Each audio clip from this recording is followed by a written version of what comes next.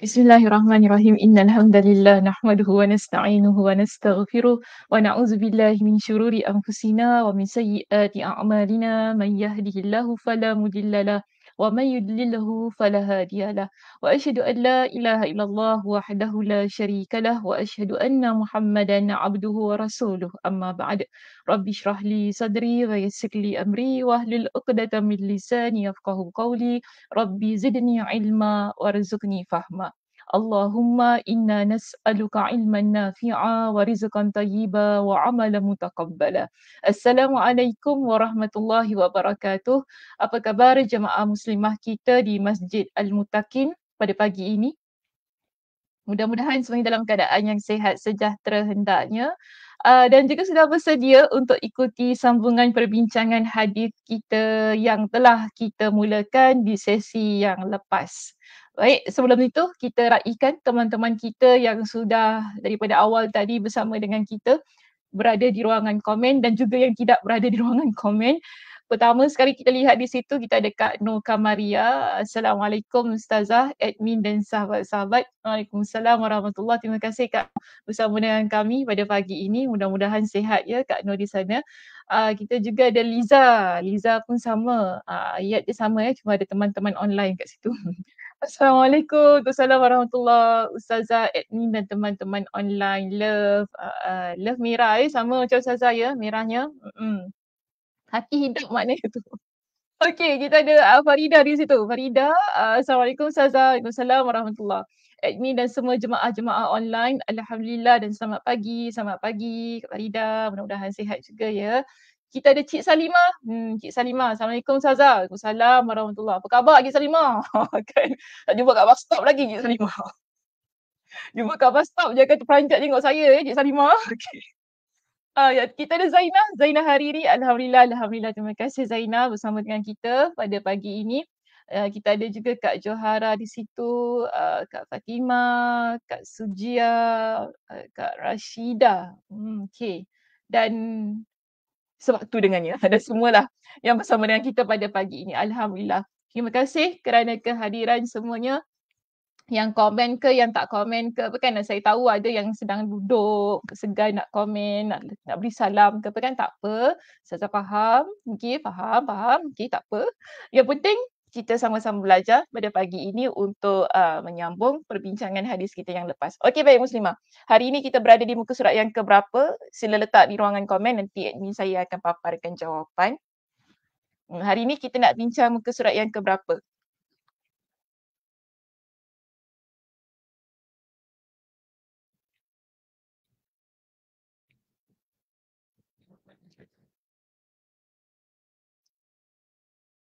Muka surat 401 last paragraph. Ustazah. Okay. Liza juga berikan jawapan yang sama. Uh-uh. Betul ya? Last paragraph ya kita? Okay. Ada yang lain? Ada orang yang ketiga? Cik orang ketiga. Ustazah Sakinah punya ayat pun. Orang ketiga. ada uh, ada jemaah yang ketiga ingin ni berikan jawapan Pagi-pagi buat hal eh, Sakina. Orang ketiga, marah orang dengar. Okey, cepat. Kak Som tak ada hari ni. Kak Som cuti hari ni. Kak Zah mana Kak Zah? Kak Zah pun tak ada. Muka surat ke berapa hari ni? Ada dua jawapan yang diberikan kepada uh, kita. Kita ada uh, dua-dua muka surat 401. Ada tak yang nak tiba-tiba jawab 450 ke 405, 406 tak ada ya? Semua sama saya mungkin saya yakinlah ramai yang uh, yang ikuti kuliah ini rasa jawapannya sama. Kejap ya, saya tengok saya punya slide. Mana slide kita? Okey. Boleh masukkan slide kita? Ah, ada Siti Hajar Ahmad 401. Sama ya Siti Hajar. Terima kasih Siti Hajar. Ah, jadi maknanya majoriti ulama kita pada pada hari ini uh, memberikan jawapan yang sama. Assalamualaikum Waalaikumsalam warahmatullahi wabarakatuh. Kak Siti Sophia. Mudah-mudahan amin. Terima kasih. Okey macam mana? Uh, mana slide Sazah boleh masukkan?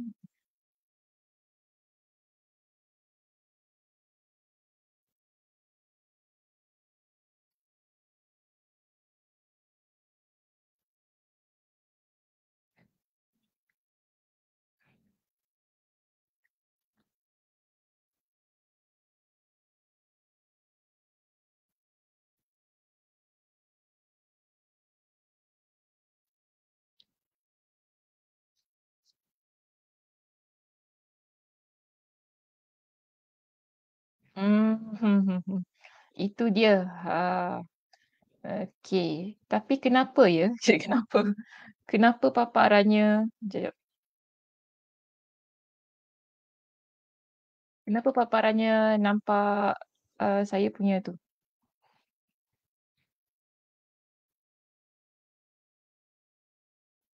Macam pelik pula. Ah, sebentar ya, sebentar. Okey, uh, sekejap. Admin sekejap. Saya stop sharing first. Okay.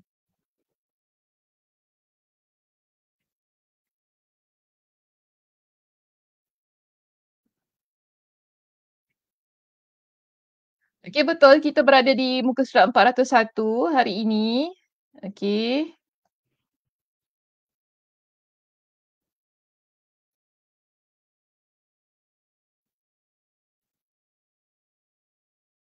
Oh, Kak Sarimah dengan kita hari ini. Terima kasih Kak Sarimah. Ah, lama saya tak nampak Kak Sarimah ni. Gimana Kak Sarimah? Okey, Admin boleh try share yang ini? Kita share yang ni. Okey, cantik. Hmm, itu dia. Okey. Hari ini kita berada di muka surat 401. Uh, kita akan bincangkan uh, bab bertanya tentang rukun-rukun Islam di bahagian kita yang terakhir. Sebab apa? Pada minggu lepas kita dah bincangkan uh, bahagian yang pertama dan saya hari ini nak sambung untuk kita selesaikan perbincangan yang uh, sedang berbaki lah ya di muka surat 401 hinggalah muka surat 403. Okey baik, kita lihat bagaimana perbincangan kita pada pagi ini. Uh, kita akan terus masuk kepada perkataan yang berikutnya ya di situ iaitu perkataannya apa? Uh, satu lagi perkataan yang uh, terkandung di dalam hadis ini iaitu faza'ama lana annaka taz'umu anna Allah arsalaka qala sadaqa. Okey, siapa yang berkata ini di sini? Boleh berikan jawapan? Siapa yang berkata?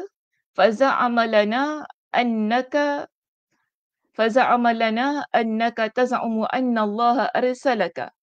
Utusanmu telah mengaku bahawa engkau mengaku bahawa Allah telah mengutusmu. Jadi Nabi jawab, uh, baginda berkata dia benar. Okey, utusan yang datang tu benar. Siapa yang tanya ni boleh berikan jawapan di ruangan komen. Hmm. Siapa yang tanya Nabi ni? Nampak dah jawapannya. Siapa yang tanya Nabi? Adakah uh, Anas ibn Malik? Sebab yang riwayatkan hadis ni Anas ibn Malik. Jadi siapa yang yang ni yang tanya? Adakah Anas ibn Malik ataupun orang lain?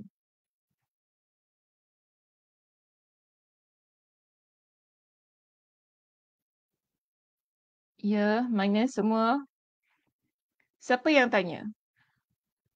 Utusanmu telah mengaku bahawa engkau mengaku bahawa Allah telah mengutusmu. Okey, siapa yang tanya ni?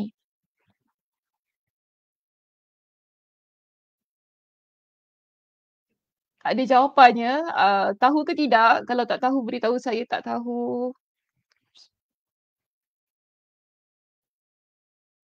Seorang badui. Okey, Masya Allah. Terima kasih Siti Hajar Ahmad. Seorang badui yang yang datang bertemu dengan Nabi sallallahu alaihi wasallam lalu dia memberikan banyak soalan persoalan yang sebenarnya uh, sekarang penduduk desa okey uh, betul eh Kak Noh penduduk desa iaitu uh, seorang Arab badui itu tadilah jadi uh, dia tanya kepada Nabi sallallahu alaihi wasallam dengan persoalan demi persoalan yang mana benda tu ataupun isu yang dia pertanyakan kepada Nabi adalah sesuatu yang dia dah dengar. Cuma kali ini dia nak dengar sendiri daripada mulut Nabi sallallahu alaihi wasallam. Baik, jadi kenapa uh, perkataan ini dikemukakan sebagai syarah untuk uh, hadis kita ya pada pagi ini? Baik, Imam An-Nawawi dia ketika dia uh, ketika beliau mensyarahkan ya hadis ini, uh, dia kata apa? ucapan uh, orang Badui ini ya, dia dah letak dah kat situ sebenarnya kan. Ustazah dah bagi jawapan dah sebenarnya. Ucapan uh, orang Badui ini yang menggunakan perkataan za'ama dan taza'umu eh kalau kita lihat di ruangan bawah tu kan jelaskan kepada kita Sekejap eh kenapa ni? Dijelaskan kepada kita di situ uh, kenapa Arab Badui ini dia guna perkataan za'ama dan taza'umu. Kalau lihat pada uh, bahasa Arabnya di situ kan, za'ama lana annaka taza'umu. Okey, uh, za'ama dan taza'umu yang bermaksud mengaku uh, yang disertai pembenaran Rasulullah sallallahu alaihi wasallam terhadapnya. Kenapa dia kata ada pembenaran? Sebab bila dia tanya Nabi sallallahu alaihi wasallam menggunakan perkataan za'ama taza'umu eh di situ Nabi kata kepada dia sadaqa. Dia benar. Okey, dia benar. Jadi di sini dikata disertai dengan pembenaran Rasulullah sallallahu alaihi wasallam terhadap apa yang uh, dia dia pertanyakan tu. Okey. Jadi bila Arab Badui ini eh, dia guna perkataan za'ama taz'umu tu tadi. Sila lihat ya muka surat 402 kita di bahagian yang belakang di situ. Uh, perkataan ini iaitu za'ama ia merupakan satu dalil untuk uh, untuk sesuatu yang benar, sesuatu yang tidak diragukan. Sebab tu Imam An-Nawawi kata apa? Ia merupakan satu dalil bahawa kata za'ama tidak untuk satu perkataan yang dusta dan perkataan yang diragukan. Walaupun kita masih lagi uh, ada kemusykilan eh, sebab ia satu dakwaan satu bentuk orang kata dia claim lah dia kata gini gini gini kan. Ah, tapi kita sebenarnya masih lagi ada berapa persen yang kuat untuk mengatakan uh, dakwaan itu adalah perkara yang benar. Jadi sebab itu di sini dalam bahasa Arab ini kita bincang dalam konteks bahasa Arab lah. Bila sesuatu uh, urusan dalam bahasa Arab ni lah ataupun ucapan ni digunakan dengan perkataan za'ama, ia menunjukkan bahawa uh, apa yang diucapkan walaupun ia bentuk persoalan, ia adalah sesuatu yang tidak ada dusta dan juga satu yang tidak diragukan. Uh, jadi ia adalah satu bentuk uh, perkataan eh, yang kita yakini dan kita yang dan benar yang tidak bercampur dengan sebarang keraguan. Jika kita rujuk pada muka surat yang berikut maaf pada perenggan yang berikutnya di bawah itu ya disebutkan kepada kita dengan beberapa dalil daripada uh, hadis-hadis yang lain yang menggunakan perkataan yang sama. Sebagai bukti uh, Imam An-Nawawi datangkan di sini ya, sebagai satu bukti untuk menunjukkan kepada kita bahawa ini bila perkataan ini digunakan iaitu za'ama ia menunjukkan satu bentuk kebenaran dan statement yang tidak ada keraguan pada uh, ucapan tersebutlah dalam ketika dia bercakap tu tadi kan. Jadi di sini dia kata apa? Uh, dalam beberapa hadis banyak disebutkan kes seperti ini Maknanya contoh yang sama kita boleh dapati dalam beberapa hadis Nabi sallallahu alaihi wasallam. Contoh yang berikan eh Jibril telah mengaku demikian. Ha, ada perkataan yang begitu. Dan si Bawai, si Bawai ni merupakan ulama, ulama dalam bahasa Arab, kepakaran dia eh, dalam bahasa Arab. Jadi dia merupakan tokoh tentang bahasa Arab, sering mengatakan di dalam kitabnya Al-Khalil telah mengaku. Iaitu Abu Al-Khattab Al-Khattab telah mengaku. Jadi dia menggunakan perkataan za'ama, za'ama eh, di situ. Yang dia maksudkan adalah perkataan yang diyakini. Hal tersebut telah dinukil oleh banyak kelompok ahli bahasa dan selain mereka. Jadi penggunaan perkataan za'ama eh, di sini uh, adalah sesuatu yang biasa digunakan dalam bahasa Arab untuk menunjukkan kebenaran kepada sesuatu yang didakwa ataupun sesuatu yang telah uh, di, disebutkan oleh seseorang. Jadi bila kita dengar orang tu bercakap, eh, kemudian kita pun uh, kata uh, ini uh, macam tidak ada keraguan, uh, macam tidak ada keraguan.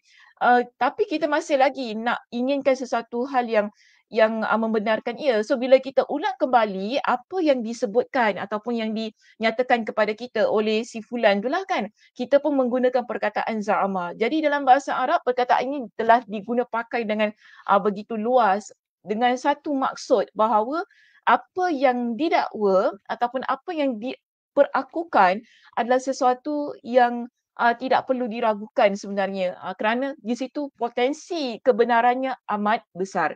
Okey. Jadi sebab tu dia kata di sini hal tersebut telah dinukil oleh banyak kelompok ahli bahasa dan selain mereka. Abu Umar Az-Zahid juga telah menukilnya dalam kitab Syarhul Fasih dari Syekh Abu Abbas uh, Abu Abbas Sa'lab dari para ahli bahasa dari kalangan orang-orang Kufah dan Basra.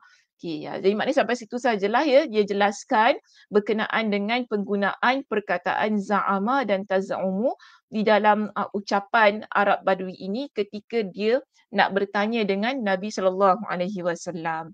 Kalau kita rujuk di perenggan kita yang berikutnya di situ ya muslimah dijelaskan kepada kita siapa uh, siapa Arab Badui ini. Jadi dia kata uh, Arab Badui tersebut bernama Dimam, bernama Dimam bin Fa'labah. Okay, ini nama dia, nama dia yang betul. Demikian nama yang disebutkan di dalam riwayat Al-Bukhari dan yang lainnya. Dalam riwayat Imam Muslim ya, sekarang kita pegang kitab Sahih Muslim. Uh, jangan lupa tu ya.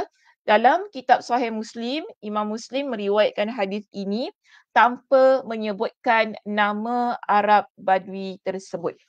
Uh, dia cuma kata ada seorang Arab Badui yang berakal eh, dalam riwayat ini menyebutkan. Jadi Imam Muslim dia meriwayatkan dengan uh, periwayatan yang menggunakan lafaz tersebut. Namanya Muslimah kalau kita rujuk di dalam kitab-kitab hadis yang lain. Dalam kitab-kitab hadis yang lain antaranya okey antaranya ialah kitab Imam Al-Bukhari iaitu kitab Sahih Al-Bukhari ada menyebutkan tentang nama Arab Badui ini. Jadi dalam kitab itu menjelaskan kepada kita pada periwayatannya ia adalah Imam bin Sa'labah. Maka sebab itu bila Imam An-Nawawi dia refer. Jadi ini kita nampak cantiknya ya para ulama ketika mereka uh, mensyarahkan sesebuah hadis ataupun ketika mereka mengarang kitab mereka ini dia bukan hanya berdasarkan kepada pendapat dia semata-mata ataupun kepada apa yang dirasa agaknya orang ni agaknya orang tidak tetapi dia datangkan kepada kita dengan reference okey dengan rujukan kenapa dia kata orang ni Imam bin Sa'labah? Mana dia dapat? Dia ada rujukan dia. Iaitu dia kata demikian yang disebutkan dalam kitab, dalam riwayat Al-Bukhari. Jadi kita jelas. Mak di sini Imam An-Nawawi dia merujuk kepada riwayat-riwayat yang lain. Okey, hadis-hadis yang lain untuk mensyarahkan hadis ini sehingga dia juga jelas duduk perkara ataupun peristiwa yang berlaku di sekitar hadis tersebut. Jadi Imam bin Sa'labah ini dia datang daripada uh, daripada kampung dia ni lah sebagai wakil uh, orang kampung dia ni untuk uh, bertanya kepada Nabi sallallahu alaihi wasallam dan kita lihat di sini uh, penghantaran ataupun satu seorang wakil ini daripada perkampungan tersebut kita nampak jelas di situ mereka memilih orang yang betul. Ya maknanya orang yang bijak orang yang uh, mampu untuk bersoal jawab dengan baik di sini ketika mereka menghantar wakilnya lah. Macam kita nak hantar rombongan wakil pergi merisik ke peminang kan? Kita tak hantar orang sembarang betul tak? Kita mesti hantar uh, orang wakil kita mesti yang pandai bercakap. Ya kalau boleh pantun dua tiga kerat pun okey juga macam tu kan? So kita di sini maknanya kita nampak setiap orang yang dihantar sebagai wakil untuk bercakap, untuk menyampaikan sesuatu hasrat, itu untuk menyampaikan apa je perkara, dia mesti orang yang boleh uh, bercakap dengan fasih. Uh, per, percakapannya, penuturannya adalah penuturan yang baik, penuturan yang jelas supaya pihak yang menerima okay, uh, wakil yang kita hantar ini dia akan uh, mudah untuk uh, untuk mendengar, uh, mudah jelas eh, terhadap apa yang dia ucapkan. Nah, dia begitu. Jadi sebab itu walaupun dia, kita nampak sini walaupun dia adalah daripada uh, penduduk desa. Tetapi penduduk desa ini kita tak bolehlah kata oh mentang-mentang orang ni Arab Badui, orangnya kasar, jahil. Tapi tak semua sedemikian. Saya dah jelaskan pada minggu lepas kan bahawa uh, untuk Arab Badui ni dia special case sedikit. Ah uh, special dia special dia kenapa? Kerana dijelaskan kepada kita bagaimana dia merupakan seorang yang memiliki intelektual yang tinggi.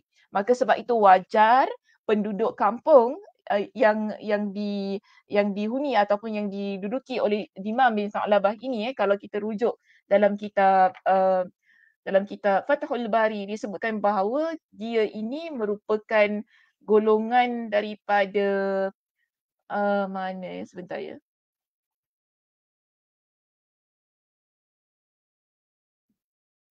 Bani Sa'ad bin Abi Bakr.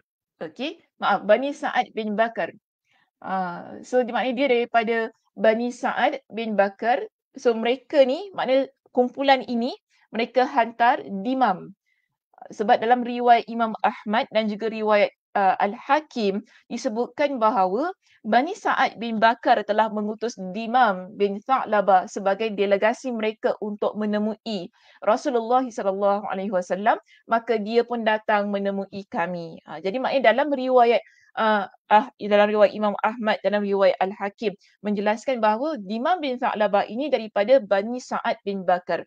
Satu kabilah, satu uh, kumpulan ataupun satu klan lah kita panggil di sini eh tahu tak clan clan apa? Bahasa Melayu? Uh, kumpulan lah kumpulan. Satu kumpulan yang mana mereka ni kumpulan daripada kawasan perkampungan uh, Arab Badui. Jadi mereka hantar Dimam bin Sa'labah sebagai wakil mereka untuk bertanya soalan kepada Nabi sallallahu alaihi wasallam ataupun untuk uh, memberikan satu uh, confirmation ataupun clarification lah untuk satu yang mereka muskil ataupun mereka rasa betul ke tidak.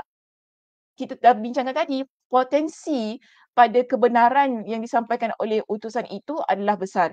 Cuma biasalah kita nakkan satu uh, satu kenyataan yang lebih rasmi eh, kenyataan yang lebih kuat. Maka sebab itu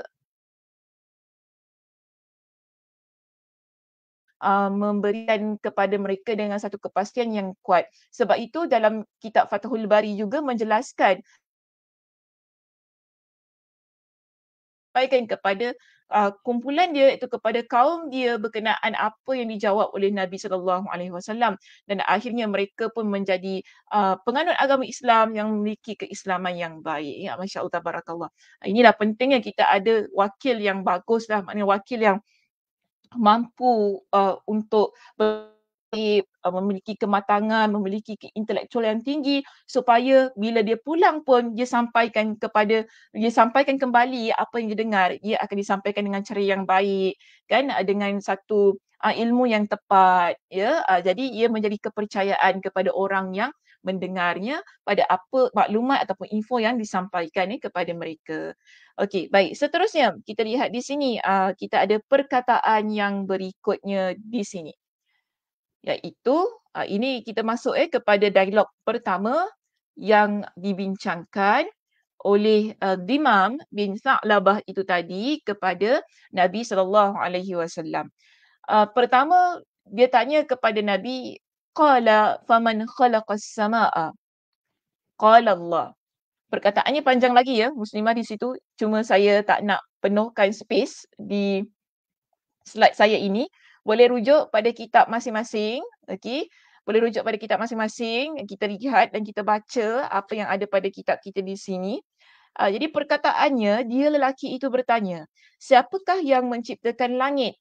Jadi baginda menjawab Allah. Uh, dia bertanya lagi siapakah yang menciptakan bumi? Baginda menjawab Allah dia bertanya lagi, siapakah yang menancapkan gunung-gunung itu dan menciptakan apa-apa yang di dalamnya? Baginda menjawab lagi, Allah. Jadi kita lihat ada tiga soalan yang ditanya oleh Dimam bin Tha'labah itu tadi. Dia tanya tentang siapa yang menciptakan langit, siapa yang menciptakan bumi dan siapa yang menciptakan gunung ganang. Okey. Ketiga-tiga jawapan ini Nabi berikan kepada dia dengan jawapan yang simple iaitu Nabi kata yang menciptakan ketiga-tiga itu adalah Allah Subhanahu Wa Taala. Baik. Jadi dia pun beralih kepada soalan yang berikutnya ataupun uh, statement dia yang barulah di sini. Dia kata begini. Demi zat yang telah menciptakan langit, menciptakan bumi dan menancapkan gunung-gunung itu, apakah Allah yang telah mengutusmu? Yang ciptakan tiga-tiga ni semua, okey, dia pun bersumpah tadi tahu. Sekarang ni, Dimam bin Tha'labah tu, dia bersumpah dengan nama Allah, dengan zat Allah. Dia kata, demi zat yang menciptakan. Okay? Maknanya dengan nama Allah ataupun dengan keagungan, kebesaran Allah yang dah ciptakan bumi, ciptakan langit, ciptakan bumi, ciptakan gunung ganang ni semua, adakah Tuhan itu makna adakah Allah itu yang dia sumpah tadi kan dengan namanya yang telah mengutuskan kamu sebagai seorang nabi dan rasul lah itu maksud dia. Jadi nabi pun jawab ya betul, na'am. Okay, Nabi kata ya. Dia pun bertanya lagi, utusanmu juga mengaku pada siang dan malam hari. Jadi Nabi kata kepada dia sadaqah. Utusan yang datang kepada kamu yang menyampaikan tentang solat lima waktu pada waktu siang dan malam, dia berkata benar. Nabi beritahu kepada dia. Sekali lagi, lelaki ini dia menggunakan sumpah. Okey, dia kata apa kepada Nabi? Demi zat yang telah mengutusmu. Maknanya tadi Nabi mengaku kan, Allah Subhanahu Wa Taala yang mengutuskan baginda sebagai seorang nabi, sebagai seorang rasul. Jadi dia kata gini kepada nabi, demi zat yang telah mengutusmu itu tadi, ya iaitu Allah Subhanahu Wa Taala.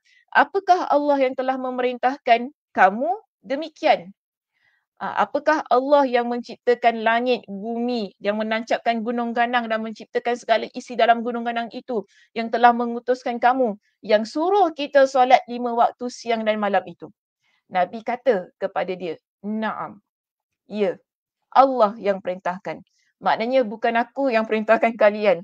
Bukan bukan Nabi yang suruh solat. Bukan Nabi yang wajibkan solat itu. Tapi Allah yang wajibkan untuk kita melaksanakan solat tersebut. Nabi sebut demikian kepada dia. Okey, baik. Imam An-Nawawi, dia kata begini. Bila melihat kepada cara lelaki uh, Arab Badui. Kita panggil Dimam lah ya sebab kita dah tahu nama dia kan. Cara Dimam ini bertanya kepada Nabi sallallahu alaihi wasallam. Dia kata apa? Susunan kata yang tersebut di atas menunjukkan ada pelbagai macam pengetahuan. Okey. Uh, dan di sini Imam An-Nawawi dia merujuk kepada penjelasannya yang telah di uh, dikupas oleh penulis dalam kitab At-Tahrir yang mana dalam kitab ini penulis tersebut mengatakan bahawa uh, ungkapan kata yang digunakan ataupun cara Imam bin Sa'labah ini ketika dia bertanya itu tadi kan menunjukkan tentang keindahan konteks dan kesesuaian pertanyaan. Uh, maknanya dia lihat kepada satu yang uh, besar dulu, nampak eh? Lihat kepada pencipta dulu yang pertama sekali yang paling atas kan langit, lepas tu bumi, lepas tu yang tertancap. Nampak ya? Kita lihat yang atas tinggi dulu. Okey, ke atas kepala, langit. Kemudian baru dekat depan kita ni kan, bumi. Kemudian apa yang ada di di atas bumi iaitu gunung ganang. Nampak cara dia menyusun soalan tu kan ataupun cara dia bertanya tu dia memikirkan banyak aspek di sini. Dia tak tanya uh, orang kata soalan dia berterabur kan uh, sekejap tanya pasal langit uh, mula-mula tanya pasal uh, betul ke awak nabi? Okey. Dia tak tanya itu tapi dia tanya yang cipta langit dulu. Okey sebab ini yang kita nampak dulu. Uh, maaf ya saya kata begini. Langit itu dia dah ada sebelum nabi ada Betul tak? Okey, sebelum Nabi mengaku diri dia sebagai Nabi, langit tu dah memang tertancap dah dekat atas kepala kita ni dah memang dah ada dah kat atas kepala dia. Sebab itu langit tu datang dulu sebelum Nabi SAW. Ini bagi dia lah. Sebab tu dia tanya tentang langit dulu. Okey, uh, ini kita nampak bagaimana Dimam bin Sa'labah dia berfikir, intelektual dia tu kan tadi kan. So yang yang Allah ciptakan dulu langit. Kemudian uh, gunung ke, langit bagi dia yang ada dekat sekitar dia semua ini. Barulah tiba-tiba datang seorang lelaki bernama Muhammad ini dia mengaku diri dia sebagai seorang nabi. Kan? Jadi kita nak tahu apa siap, kalaulah dia betul seorang nabi ini pada pendapat imam lah. Kalau dia betul seorang nabi dia mesti tahu yang ciptakan langit ni siapa. Sebab tu dia tanya dulu kepada nabi tentang penciptaan yang ada di sekitar dia. Okey baik. Kita lihat di sini ya. Dia kata di sini uh, tentang uh, uh, apa ni komen penulis dalam kitab at-tahrir ini dia kata apa sebab pertama kali dia bertanya tentang siapakah pencipta para makhluk Lalu dia bersumpah kepada beliau dengannya untuk meyakinkan keberadaannya sebagai Rasul utusan Sang Pencipta. Kemudian setelah dia meyakini dan mengetahui risalah beliau, dia bersumpah kepadanya dengan hak zat yang mengutusnya. Ha, jadi di sini kita nampak ya, bagaimana uh, susunan kata itu menunjukkan bahawa dia merupakan orang yang bijak Dimam bin Sa'labah ini bukanlah di kalangan uh, orang kampung, maaf ya, orang Arab Badui yang kita kata uh, yang boleh kita remehkan. Daripada cara dia bersoal jawab itu, kita dapati bahawa yes, orang ini orang yang boleh berfikir dengan bijak, eh, intelektual dia tinggi. Sebab itulah awal-awal yang kita bincangkan pada minggu lepas, kita kata dia adalah orang yang akil, al-akil iaitu berakal. Jadi di sini sebagaimana maknanya itu bertepatan dengan apa yang di yang di uh, yang dikupas oleh penulis kitab At-Tahrir di sini yang telah dinukil oleh Imam An-Nawawi mana dia kata uh, susunan ataupun ungkapan susunan dari yang yang digunakan itu tadi menjelaskan kepada kita bahawa ia datang dari orang yang cerdas. Baik, selanjutnya kita lihat sumpah-sumpah yang diucapkan secara berulang-ulang itu berfungsi untuk menekankan dan menetapkan suatu perkara bukan kerana dia memerlukan sumpah-sumpah tersebut. Uh, maknanya di sini dia bila dia guna demi kan tadi kan demi zat yang mengutusmu sebagai seorang rasul. Ini namanya sumpah.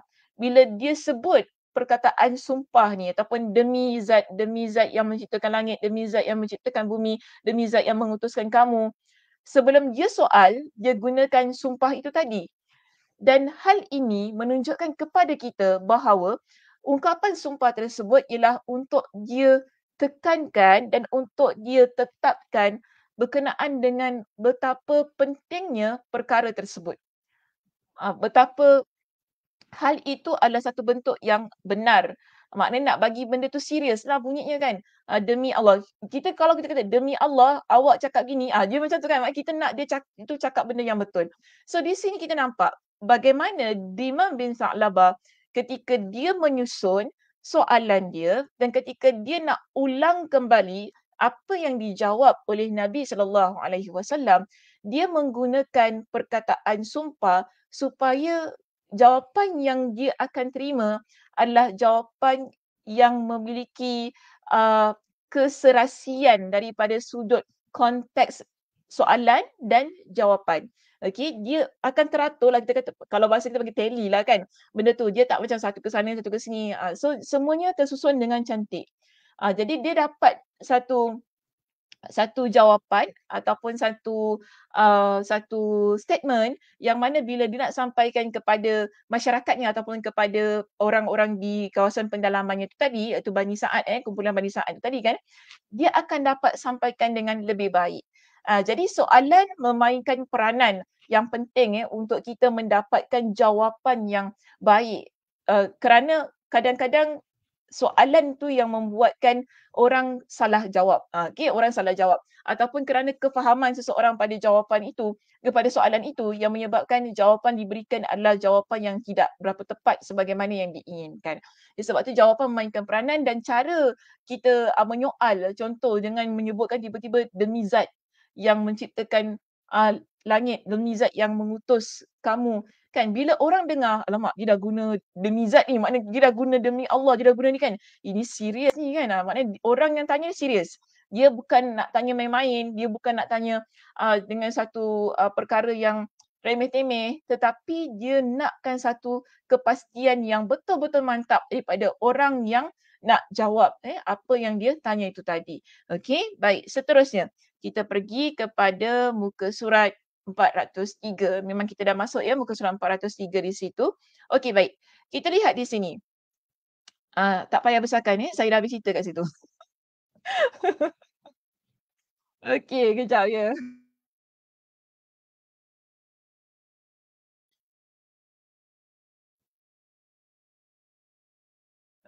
Baik, kita ada di sini uh, pendapat daripada Al-Qadi Iyad rahimahullah. Hmm uh, Al-Qadhi Iyad rahimahullah dia kata maknanya dia berikan pendapat dia lah ni di sini Imam An-Nawawi memetik pendapat Al-Qadhi Iyad di situ. Dia kata apa? Lelaki tersebut datang setelah masuk Islam. Maknanya Imam bin Sa'labah ini dia datang kepada Nabi sallallahu alaihi wasallam kan tadi kan uh, dia datang dalam keadaan yang melainkan setelah dia tu masuk Islam. Tidaklah dia tu datang uh, dalam keadaan yang mana dia sudah sedia Islam sebenarnya. Walaupun tadi uh, dia dia uh, tanya macam-macam kepada Nabi seolah-olah nampak macam dia tak pasti ataupun dia tak confirm eh, tentang apa yang disampaikan oleh utusan Nabi yang datang ke perkampungan Bani Sa'ad itu tadi kan. Tapi di sini kita lihat uh, Al-Qadi Iyad kata sebenarnya Dimam bin Sa'labah ini dia dah masuk Islam. Cuma dia datang tu kan untuk lebih memantapkan lagi lah apa yang dia dengar uh, ataupun apa yang dia dia dapatkan daripada utusan Nabi sallallahu alaihi wasallam. Sebab itu di sini Al-Qadi Iyad rahimahullah dia kata apa? Sesungguhnya dia datang hanya untuk mencari ketetapan. Maknanya dia nak lagi uh, lagi mantap apa yang dia faham. Apa yang dia dengar. Macam saya sebutkan pada minggu lepas kita dengar daripada orang uh, tengah kan pertengahan ni dia tak berapa kuat ya mungkin kita ada sedikit perkara yang uh, uh, tak jelas ataupun kita tak berapa confident. Tapi bila kita dengar daripada mulut yang empunya diri sendiri di situlah kita akan dapat satu ketetapan, satu confirmation eh, tentang apa yang disampaikan kepada kita. Dan juga ada tujuan yang kedua di sini, Al-Qadi Iyad kata apa? Ialah untuk berdialog dengan baginda Nabi SAW. Jadi ini satu kesempatan yang ada pada Dimam bin Fa'labah ketika dia tu daripada satu kawasan yang jauh di pendalaman dan dia keluar daripada tempat tersebut bertemu dengan oh, datang ke Madinah untuk bertemu dengan Nabi sallallahu alaihi wasallam itu merupakan satu peluang yang besar ataupun satu kita panggil satu ruang untuk dia dapat berbicara secara langsung dengan Nabi sallallahu alaihi wasallam. Okey baik, uh, kita dah sampai ke penghujung pengajian kita pada pagi ini. Okey. Kita akan masuk kepada uh, pengajaran yang boleh kita ambil dari perbincangan hadis kita uh, yang bermula daripada minggu lepas dan kita bawa sambungannya ke pagi ini. Dalam kitab kita memuatkan tiga pengajaran penting yang boleh kita uh, dapatkan menerusi perbincangan hadis kita yang nombor lima ini dalam kitab iman iaitu tentang bab bertanya uh, tentang uh, rukun-rukun Islam. Okey, yang pertama ya di sini kita lihat. Uh, solat lima waktu dilakukan berulang-ulang setiap hari. Ini poin yang pertama yang disebutkan. Okey, solat lima waktu dilakukan berulang-ulang setiap uh, hari. Uh, saya rasa slide ni tak perlu dibesarkan. Uh, biar saya yang besar eh, di sini. Biar saya yang besar. Okey, okay, cantik. Sebab boleh jelas situ boleh nampak. Kita lihat begini ya Muslimah dalam hadis ini uh, dijelaskan kepada kita bahawa solat lima waktu uh, itu dilakukan berulang-ulang setiap hari dan itulah maksudnya bila lelaki itu tadi itu Dimam bin Sa'labah tadi dia tanya kepada Nabi tentang solat pada siang dan malam hari kami. Okay, siang dan malam hari. Maknanya kita setiap hari kita buat perkara yang sama berulang kali hari ni kita solat lima waktu, esok pun kita solat lima waktu. Ya, ini untuk untuk orang yang boleh solat ya. Ha, wanita tak tak ada ada waktu dia tak solat lima waktu kan. Okey. So di sini ha, kalau lelaki yes, lelaki memang wajib lah. Dia, dia tak ada excuse dengan tiba-tiba saya tak boleh solat. Ha, kenapa pula tak boleh solat? Saya uzur-uzurnya tentang apa? Ha, kena tahu juga. Okey. Tapi di sini yang penting bila kita kata solat siang dan malam. Solat lima waktu siang dan malam maknanya ia terus-terusan berlaku sepanjang hari setiap hari. Okey, hari ini kita solat lima waktu, esok kita solat lima waktu sampailah ke hari kiamat ia terus berlangsung. Kalau nak lebih dekat lagi sampailah kita meninggal dunia, solat lima waktu tu tetap solat lima waktu siang dan malam. Ha, dia tidak berubah. Okey, itu maksudnya bila dia kata siang dan malam. Baik, dan di sini juga di dalam poin kita yang pertama di situ dia kata apa? Selain itu, sesungguhnya puasa bulan Ramadan adalah wajib dilakukan di setiap tahun. Ha, ini juga perkara yang tidak boleh kita nafikan ha, berkenaan dengan rukun Islam kita. Dalam rukun Islam kita ada solat lima waktu yang tak boleh tinggal. Melainkan di atas keuzuran-keuzuran yang dibenarkan. Sama juga berkenaan dengan puasa kita kan setiap tahun okay, setiap tahun kita akan bertemu dengan bulan Ramadan jika Allah Subhanahu Wa Taala berikan kepada kita dengan nyawa eh, dengan nafas untuk bertemu dengan bulan Ramadan dia adalah perkara yang kita kata tahunan. Every year. Okay, every year kita akan jumpa dengan bulan Ramadan dan kita berpuasa di bulan tersebut. Tidak ada dalam satu tahun ni kata, oh tahun ni tak ada Ramadan eh. Ha, tak ada, jangan tiba-tiba ya. Ha, jangan tiba-tiba kata, Ustazah tahun ni Alhamdulillah eh, tak ada Ramadan eh. Iya ke mana awak dapat ilmu tu? Ha, tak ada satu kenyataan yang sedemikian. Maknanya di sini kita nampak eh, dalam hadis ini menjelaskan kepada kita bahawa ia adalah satu yang wajib dilakukan di setiap tahun wajib ya, wajib dilakukan setiap tahun kerana apa? Ia adalah rukun Islam kita. Baik, kita pergi kepada poin yang kedua eh dalam kitab kita di sini. Ada satu pendapat yang mana Imam An-Nawawi mengambil ia sebagai uh, pengajaran untuk hadis ini. Dia kata apa? Syekh Abu Amr bin As-Salah rahimahullah berkata, di dalamnya juga terdapat dalil, dalil ni maksudnya bukti. Okey, bila kita kata dalil maknanya bukti bukti yang menunjukkan akan kebenaran pendapat yang dianut oleh para tokoh ulama. Jadi di kalangan agamawan kita, para ulama kita, mereka ini ada mengeluarkan pendapat. Apa pendapat mereka? Bahawa orang-orang awam yang bertaklid adalah orang-orang mukmin orang awam maksudnya masyarakat awam okey orang yang uh, orang biasa-biasa je lah yang bukan uh, ustaz bukan ustazah eh, yang yang tidak ada uh, ilmu yang mendalam berkenaan dengan agama ini. Orang awam orang biasa sahaja. Di sini dia kata kalau mereka bertaklid bertaklid tu maksudnya kita nampak orang solat kita solat. Kita nampak orang puasa di bulan Ramadan kita puasa. Itu maksudnya taklid kita ikut Ah, okay lah. Kalau dalam bahasa Melayu kita kata taklid ni lah kita ikut-ikutan. Kita ikut. Kita nampak uh, orang zikir, kita zikir. Kita nampak orang baca Al-Quran, oh kita baca Al-Quran. Bermakna dia, kenapa dia buat? Sebab saya nampak Ustazah buat. Oh, macam tu kan? Uh, kenapa? Kenapa awak pakai tudung? Oh, sebab saya nampak semua orang, kalau orang Islam, orang perempuan pakai tudung. Macam itu. Dia tidak ada pengetahuan yang mendalam tentang kenapa saya buat satu amalan. Jadi menurut para ulama, okay, kalaulah orang ni dia begitu, eh, dia dia seorang yang muslim lah. Kita tak meragui dia adalah orang yang beriman kepada Allah. Dia adalah orang yang beriman. Kita tak boleh kata, oh kalau awak ikut-ikut ni awak bukan orang beriman. Kita tak ada kata semikian. Uh, maknanya di situ ialah Alhamdulillah. Dia dah ikut, nanti mudah-mudahan kan dia akan uh, perbaharui lagi ilmu dia. Maknanya dia, dia mantapkan lagi ilmunya, belajar dengan lebih lagi untuk memperhalusi solatnya. Akhirnya dia jadi orang yang mengetahui. Ha, awalnya kita semua ya muslimah kita semua bermula sebagai masyarakat awam yang mungkin ilmu kita terlalu minima, terlalu sedikit. Mungkin ada di kalangan kita ilmu kita zero. Tapi kerana kita ikut, asalnya kita ikut. Okay, contoh kita kata dulu kita kecil-kecil kan. Uh, kenapa solat? Mak kita suruh solat. Maknanya di situ kita tidak ada ilmu. Kita just ikut. Okay, kita tak tahu uh, sujud kenapa sujud ni, apa hadis Nabi kata pasal sujud, apa hadis Nabi kata tentang rukuk, uh, kena baca gini, adakah hadis Nabi kata hud, laf, hatta lafaz tasyahud tu pun kita ikut. Uh, kita just ikut. Mak kita kata nanti baca gini, baca gini. Kita pun ikut. Nanti rakaat pertama baca Al-Fatihah, rakaat kedua baca Qul Huwallah. Kita pun ikut. Mungkin ada orang sampai tua itu je dia baca. Ha, sebab mak aku ajar macam tu kan.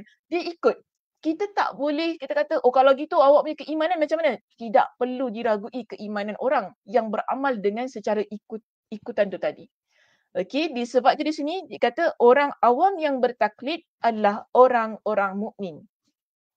Mereka tetap orang mukmin. Dan sesungguhnya mereka cukup hanya dengan meyakini kebenaran secara pasti. Maknanya mereka cukup meyakini kebenaran secara pasti itu maknanya ialah cukup bagi mereka mengaku bahawa Tuhan itu adalah Allah. Tuhan itu Maha Esa. Ah, itu cukup bagi mereka ini. Yang tanpa keraguan dan kebimbangan. Ah, dia tak ada satu keraguan. Ya ke Allah tu satu? Ah, tiba-tiba macam tu kan. Tapi orangnya solat. ini, ini ada masalah keimanan.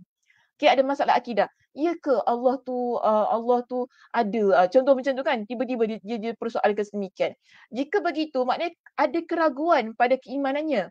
pada akidahnya di sana kan. Tapi di sini di kalangan para ulama kata jika keimanannya sudah begitu maksudnya keimanannya dia mengaku Allah itu Maha Esa, Allah itu Tuhan kita, kan Nabi Muhammad SAW diutus oleh Allah Subhanahu Wa Taala sebagai seorang nabi dan rasul. Jika begitulah keimanannya dah cukup untuk kita anggap dia sebagai seorang mukmin, orang yang beriman kepada Allah. Walaupun dari segi amalannya dia just ikut sahaja. Okey, uh, walaupun segi-segi amalan dia, dia cuma ikut nampak orang puasa, puasa. Kan, uh, nampak orang solat, solat. Uh, nampak orang pergi tarawih, pergi tarawih. Macam tu kan. Uh, dia jadi sedemikian. Uh, dia jadi satu satu amalan yang dia just ikut tanpa ada ilmu. Baik. Uh, tetap, sebab itu kenapa statement ini penting? Kerana ia berbeza dengan uh, orang-orang yang mengingkari hal tersebut dari kalangan kaum Mu'tazilah. Uh, okay. So kita dalam agama Islam ni kita ada firqah, kita ada kumpulan-kumpulan yang memiliki pendapat-pendapat yang berbeza daripada ahlu sunnah wal jamaah. So sekarang kita adalah kumpulan, oh kumpulan, kita mazhab. Kita adalah mazhab ahlu sunnah wal jamaah.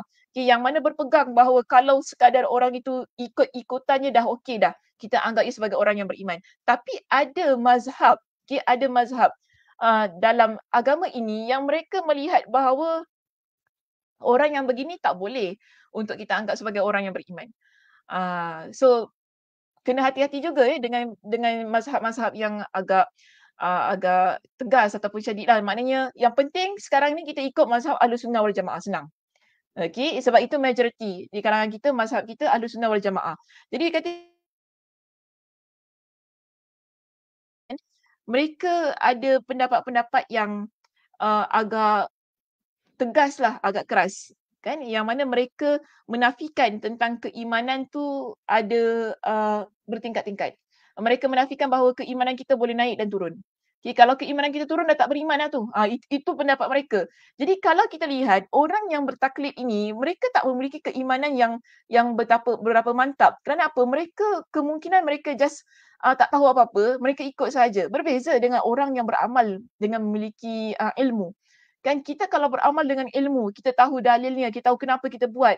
Keimanan ataupun apa yang kita lakukan ialah ada satu yang lebih mantap, lebih khusyuk, ah, lebih kuat, ya, lebih kepada kita kita kata mengharapkan keredaan Allah Subhanahu Wa Taala. Keimanannya tu kalau kita tak boleh tebak ya, keimanan orang bagaimana. Ini ilmu. Ini sekadar ilmu yang kita pelajari. Cuma dalam hal yang begini kita lihat orang yang mana mereka beramal dengan keilmuan yang tinggi, dia faham kenapa dia beramal, di situ kita nampak keimanan orang yang sedemikian pasti lebih baik daripada keimanan orang yang mana dia beramal just ikut-ikutan saja. Yang dia, yang dia tak tahu benda, kenapa aku kena buat benda ni? Tak apalah orang buat, kita buat saja. Berbeza, pasti berbeza. Level tingkatannya pasti berbeza, dia takkan sama. Okay, sebab itu di sini uh, kita lihat dia Imam An-Nawawi dia jelaskan lagi. Hal itu dikarenakan Rasulullah sallallahu alaihi wasallam telah meyakinkan Imam tentang apa yang disampaikan kepada beliau iaitu tentang kebenaran risalah yang beliau bawa. Beliau juga tidak mengatakan padanya bahawa wajib bagimu untuk mengetahui hal tersebut dengan cara memperhatikan mukjizat-mukjizatku dan beristidlal dengan dalil-dalil yang pasti. Uh, Nabi tak kata kepada Dimam bila Dimam tadi tanya tentang solat, Dimam tanya tentang puasa ya kepada Nabi sallallahu alaihi wasallam, Nabi membenarkan. Maknanya itu jika itu yang sampai kepada kamu, amalkan begitu. Bila utusan Nabi datang di kampung Bani Sa'ad itu kan tempat Dimam bin Sa'labah. Utusan ini kata uh, kita ada Allah Subhanahu Wa Taala yang Maha Esa dan Allah Subhanahu Wa Taala utuskan seorang nabi dan rasul yang bernama Muhammad, kita wajib untuk beriman kepada uh, Allah, wajib beriman kepada apa yang diutuskan oleh Allah Subhanahu Wa Taala ini, iaitu dengan dengan dalam masa yang sama wajib untuk solat lima waktu, uh, wajib untuk berpuasa di bulan Ramadan, tu kan? Bila sampai hal itu kepada kita, dan kita pun beramal, maka sahlah amalan tersebut. Ha, macam tu. Itu maksud Nabi. Tak perlu untuk terus kita cari, oh kalau gitu apa apa dalil eh ha, kalau nak buat eh selagi saya tak tahu dalil tentang uh, tentang ibadah solat ini, maka saya tak nak buat solat. Kan? Ha, Melainkan kalau ada datang amalan yang baru. Itu maksud saya. Eh. Kalau datang amalan yang baru, barulah kita nak kena check dulu. Betul ke ada amalan ni tiba-tiba kena solat sakinah. Ya? Solat tu nama solat sakinah kan? Ya, ah, ini baru kita kena check dalilnya muslimah. Kan? Kalau tentang solat lima waktu, perlu ke kita check dalil tentang solat tentang puasa di bulan Ramadan perlu ke kita nak check lagi. Ha, maknanya kalau kita dah tahu itu dah memang satu amalan yang wajib semua di kalangan penganut agama Islam wajib lakukan bila kita buat dah sudah. Begitulah amalannya. kita ikut oh ini wajib kena buat eh. Okey. Maknanya kita pun ber, berkeyakinan dengan satu keyakinan yes solat lima waktu wajib dan saya ikutlah kenapa kerana orang buat macam ni saya ikut orang buat macam ni. Kerana saya juga yakin inilah uh, kewajipan saya sebagai seorang muslim. Maka dia buat semikian. Melainkan dia tak maknanya untuk situasi yang begitu dia tak perlu cari apa eh dalil solat lima waktu wajib ni eh uh, dia tak perlu cari semikian melainkan kalau datang satu amalan yang baru okay, amalan yang baru contoh tiba-tiba orang ni kata, eh kau tahu semalam kan aku belajar kita ni kalau nak tenang kita kena solat. Solat tu nama solat sakinah. Solat ketenangan. Dan kenapa nama solat? Sebab Suazah yang ajar nama dia sakinah. Ha, macam gitu kan. Kita pun duk pelik kan kita dengar. Ada ke solat tu nama solat sakinah eh? Kita cuba cari. Tanya kawan kita, eh kau ni nak beramal nama solat sakinah ni kau ada dalil ke tak? kawan kita kata, eh apa pula nak tanya-tanya dalil ni semua. Tak payah tanya dalil lah. Nak beramal, beramal lah. Yang penting benda baik. Tak boleh. Ha, bila part macam ni tak boleh. Okay, ha, bila part yang begini kita tak boleh ikut-ikutan. Taklid tu tadi tak valid. okay, taklid tadi tak valid. Sebab apa? Dia satu amalan yang baru. Berbeza. Okay, berbeza dengan rukun Islam kita.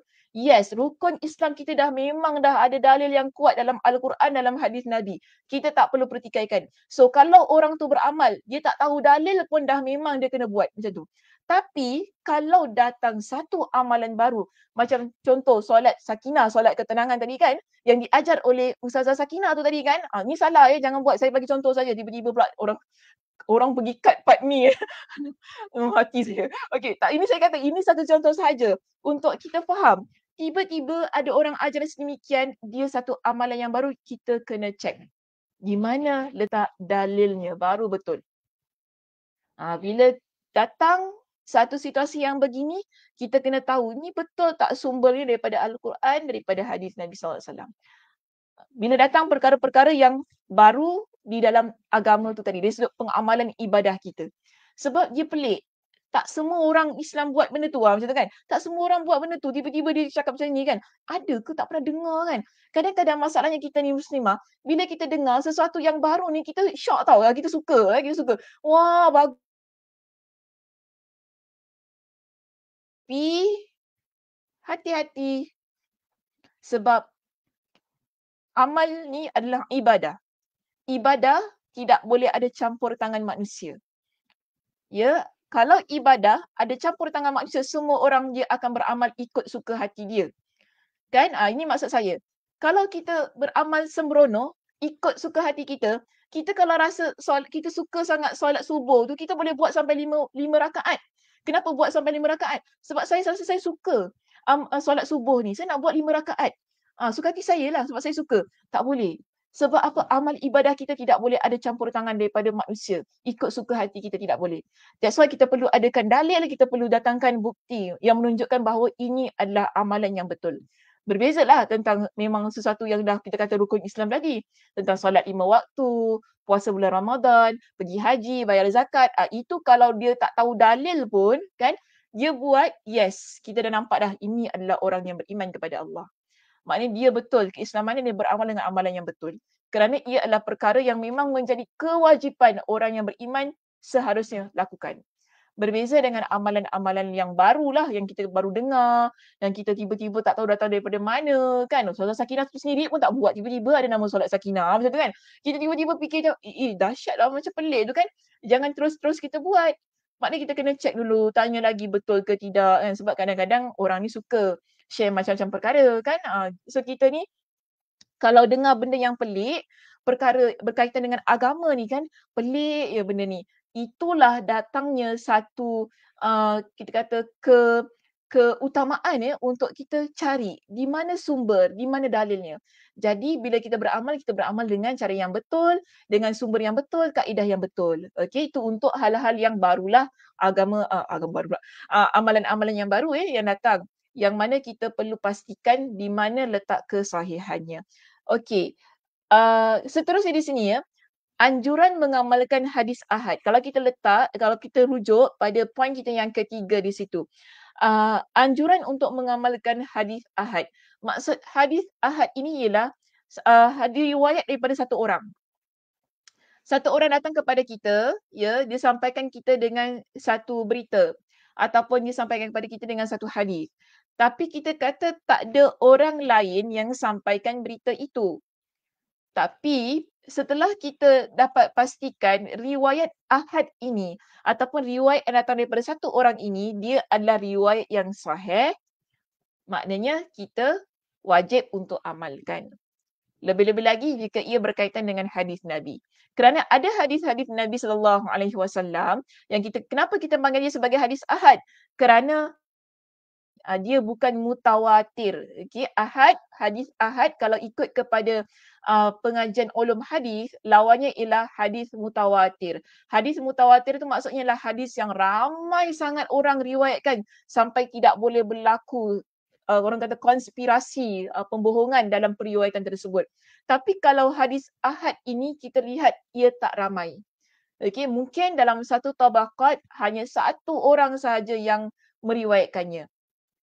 Di kalangan sahabat Nabi hanya seorang sahabat saja yang riwayat ataupun di kalangan tabiin hanya satu orang saja yang riwayat. So kita panggil ia sebagai hadis ahad ataupun uh, dia ada dua orang, tiga orang. Maknanya ia tak menunjukkan ada kemutawatiran pada hadis tersebut.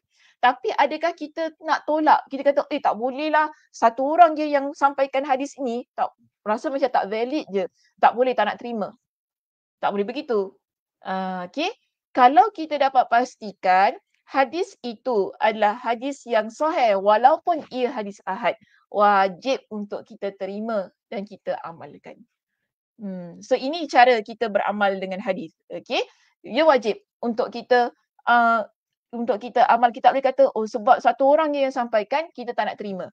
Uh, sama juga kalaulah uh, satu berita itu tadi dia datang daripada satu orang okey sebab utusan yang datang kepada uh, Bani Sa'ad itu tadi iaitu uh, kawasan tempat Dimam bin Sa'labah yang datang satu orang saja Nabi tak utuskan ramai-ramai pergi ke tempat itu. Okey, yang datang satu orang saja. Jadi berita yang disampaikan adalah berita yang benar. So, di, boleh diterima berita tersebut. Sebab itu kalau kita rujuk dalam kitab uh, Fathul Bari, dia jelaskan kepada kita begini.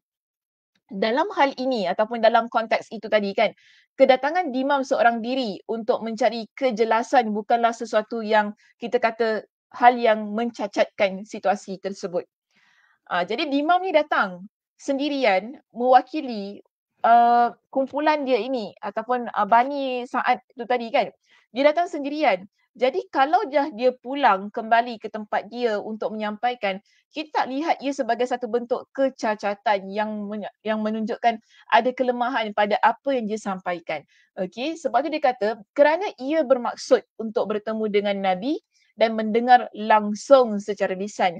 Yang penting orang itu ketika dia sampaikan kepada kita, kita dapat pastikan memang betul dia dengar daripada Nabi secara lisan. Maknanya dia, dia dengar one to one tu tadi.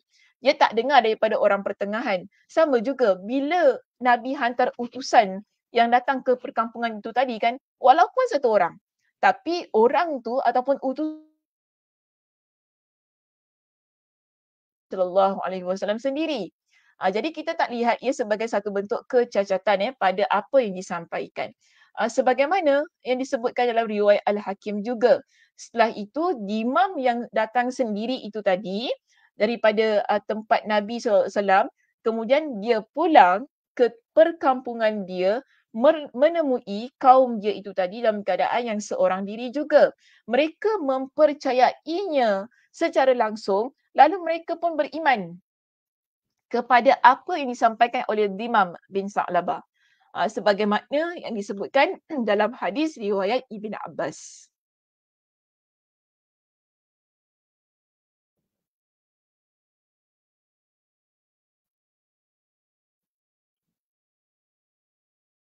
Okay, sebagaimana yang disampaikan dalam riwayat Ibn Abbas eh, di situ. So kita nampak di sini hadis ahad tu walaupun uh, dia dia bukan daripada orang yang ramai kita nampak ataupun dia punya uh, sanad bukanlah disampaikan ataupun didengar oleh ramai orang. Tetapi jika dapat dipastikan bila riwayatnya adalah riwayat Uh, dan seterusnya saya tambah di sini ya pada poin kita yang di bawah itu boleh kita menghantar wakil bagi mendapatkan kepastian tentang sesuatu isu ataupun sesuatu perkara. So bila kita dengar ada satu masalah tapi kita tak boleh untuk datang ke tempat tersebut kan kita pun hantarlah orang yang kita yakini uh, kredibilitinya, uh, kefasihannya bertutur, kebijaksanaannya untuk mendapatkan tentang uh, isu yang sebenar berlaku di tempat tersebut. So kita hantar. Uh, jadi di sini daripada keseluruhan hadis ini kita dapat nampak ya bagaimana uh, Bani Sa'ad itu tadi mereka menghantar Dimam bin Sa'labah untuk bertemu dengan Nabi sallallahu alaihi wasallam bagi mendapatkan hal yang sebenar walaupun yang datang kepada mereka itu adalah utusan daripada Nabi sallallahu alaihi wasallam sendiri. Tapi mereka masih lagi tidak berpuas hati lalu mereka nak kata betul ke uh, nabi itu kata macam ni? Betul ke dia nabi? Uh, betul ke uh, dia dia mengaku yang ciptakan langit dan bumi ini adalah Allah Subhanahu wa taala? Jadi kita nak dengar sendiri uh, di mana uh, kebenarannya ataupun kita nak dengar sendirilah daripada mulut orang yang menyampaikan utusan ini. That's why mereka hantar Imam bin Sa'labah sebagai wakil daripada mereka ini untuk melihat isu itu adakah ia betul ataupun tidak. Sama juga lah ya dalam hidup kita ni mungkin kita ada nampak ataupun kita ada dengar sesuatu yang orang sampaikan kepada kita dan kita nak tahu uh, betul ke tidak. Dan kadang-kadang, kadang-kadang ya muslimah saya kata uh, kita tak boleh datangkan diri kita sendiri ataupun kita tak boleh sendiri yang datang untuk bertemu dengan orang itu bertanya tentang perkara yang sebenar kerana mungkin orang tersebut tidak selesa dengan kita. Okey, uh, dia tak selesa, mungkin dia tak kenal kita, dia tak tahu pun kita siapa, tiba-tiba kita datang pada dia, kita nak tanya. Uh, mungkin tak kenal kan, tak kenal langsung. Ni siapa ni ni, tiba-tiba si Sakinah ni datang ke aku nak tanyalah apa bagai. Alamak, macam bagus sangat lah macam tu kan. Tapi apa kita buat? Kita hantar orang yang dia selesa, yang dia dah kenal, yang dia nak open up. Maksud dia nak dia nak berbual, dia nak yang dia percaya untuk bercakap. Yang mana kita juga orang yang kita hantar ni, yang kita juga kenal baik dengan orang ini. Uh, ini caranya lah eh, kita ni uh, berkomunikasi. Tak semua perkara kita boleh tanya secara langsung dengan seseorang. Okey, uh, maknanya kita perlu ada orang yang kita percaya untuk kita hantar bertemu dengan orang tersebut dan orang tu akan bantu kita untuk mencari tahu di mana letak kebenarannya tentang apa yang kita dengar. Betul ke tidak apa kita dengar? Kan jadi orang yang kita kita hantar tu tadi dia akan cubalah korek, uh, dia akan cuba cari uh, perkara-perkara yang betul kan? Uh, daripada perbualannya dengan dengan kawan dia tu tadi. Uh, kemudian disampaikan kepada kita. Dan akhirnya kita pun dapat maklumat oh betul lah kan orang cakap gini gini. Uh, so ini cara ya muslimah bagaimana kita ni uh, tak semua. Okey lah betul lah kita kadang-kadang suka direct sangat kan? So jangan direct sangat lah dalam hidup ni okay? tiba-tiba tanya tu tanya, tanya orang tak suka. Okay? ada orang tak suka. Tak semua perkara kita boleh tanya langsung kepada orang Okey, kena ingat itu. So kita ini ini kita panggil sebagai adab ya, adab kita berkomunikasi dengan orang ramai. Kita nampak bagaimana dalam hadis ini menjelaskan kepada kita. Uh, yang dihantar oleh kaum dia untuk bertanya kepada Nabi sallallahu alaihi wasallam. Uh, dan di situ uh, Imam bin Sa'labah ni memanglah betul. Kita kata dia bukan orang yang mana Nabi kenal rapat kan? Uh, dan saya kira ini adalah pertemuan yang pertama. Okay, Dimam ni bertemu dengan Nabi sallallahu alaihi wasallam. Tetapi kerana Dimam bin Sa'labah adalah seseorang yang bijak daripada sudut penuturan dia ketika ketika dia berbual. Itu yang menyebabkan boleh uh, boleh connect tu lah uh, dengan baik bila dia bertemu dengan Nabi. Uh, dia tak semestinya lah mesti kenal tu kan tapi bagaimana orang tu cara dia berbual cara dia uh, kenal ataupun cara dia uh, menyampaikan. Jadi bila kita nak hantar sesiapa pun di sini ya, poin saya yang seterusnya, sesiapa pun di sini kita kena tahu juga orang tu bagaimana. Bukan sebarangan orang yang boleh kita hantar untuk kita uh, tanyakan tentang satu perkara. Jadi bila dah tahu background dia, cara dia berbual tu kan kita lebih yakin dan kita nak elakkan berlaku lebih banyak isu, lebih banyak masalah lebih banyak salah faham. Kita nak elakkan benda tu. Ha, jadi kena perhatikan banyak perkara okay, sebelum kita menghantar wakil bagi bertanya tentang satu perkara ataupun satu isu yang berlaku yang kita nak tahu kebenarannya. Sebab kita tidak mahu bila kita hantar orang yang salah, kan nanti ia boleh menimbulkan banyak salah faham, banyak kekeliruan, akhirnya berlakulah permusuhan. Itu tidak mahu. Okey. Jadi di sini dalam hadis ini jelas kepada kita banyak nilai-nilai sosial yang telah dijelaskan dalam keseluruhan hadis. Uh, lebih-lebih lagi ketika kita nak berkomunikasi, ketika kita nak menyampaikan satu maklumat dan ketika uh, kita memilih wakil yang nak dihantar eh, kepada seseorang untuk bertanya tentang hal yang benar. Uh, Okey Muslimah, itu sahaja perbincangan kita untuk pagi ini. Alhamdulillah. Selesai ya kita bincangkan tentang hadis kita yang kelima dalam kitab iman. InsyaAllah kita akan masuk kepada hadis yang baru di sesi kita yang akan datang ya mudah-mudahan Allah Subhanahu Wa Taala memberikan kepada kita uh, dengan uh, dengan kefahaman pada apa yang telah kita uh, bincangkan itu tadi dan juga kita dapat satu uh, ilmu yang baru ya bagaimana kita ni uh, seharusnya uh, kalau nak mencari tahu tentang satu perkara uh, bagaimana kita ni sendiri juga memainkan peranan yang amat penting uh, untuk mencari orang yang betul, orang yang tepat eh, ketika kita nak uh, menghantar dia sebagai wakil. Uh, bagi saya kata tadi bagi mengelakkan permusuhan, salah faham dan juga banyaklah isu-isu yang berbangkit nanti kan uh, nanti kita tak nak itu semua berlaku maka kita juga memainkan peranan yang penting dalam hal memilih orang yang nak kita hantar tu tadi.